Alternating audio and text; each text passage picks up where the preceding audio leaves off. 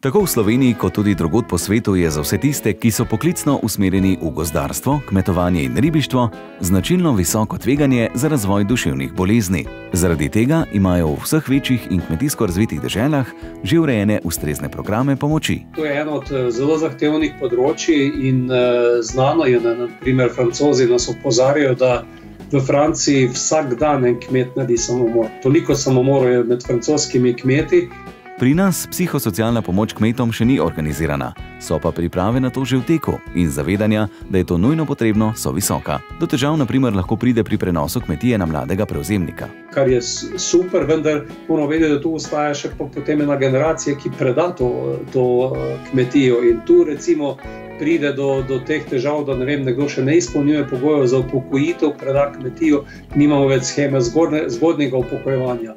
Ukvarjajo oziroma ukvarjamo se s temi problemi, pa vendar še premalo, pravi gospod Franc Bogovič. E, ko smo delali te mize, okrogle mize na temo e, pametnih vasi in e, ko smo vedno vključovali tudi svetovalno službo, vem, da so na celskem zavodu kmetijsko-gozarske zbornice prav posebej izpostavili to kot eno od perečih problemov, s katerim se delno že ukvarjajo, kajti hočeš, nočeš, nekdo, ki pride svetovati neko novo tehnologijo na teren, bo soočen tudi z temi stiskami, ki se v družinah pojavljajo. To je eno od področji, ki mu je potrebno v prihodnosti posvetiti več pozornosti. In znati na osnovi teh težav, ki se na tak način prepoznajo, tudi eh, zgraditi določene ukrepe. Tako da recimo eh, ravno ta segment eh, teh zgodnih upokojitev. Eh, pokojninsko-invalidskega zavarovanja na kmetijah, eh, marž, kdo v podjetju, podjetje gre v stečaj, je hitro poskrbljeno za, za vsaj za nekaj mesecev tega prehoda.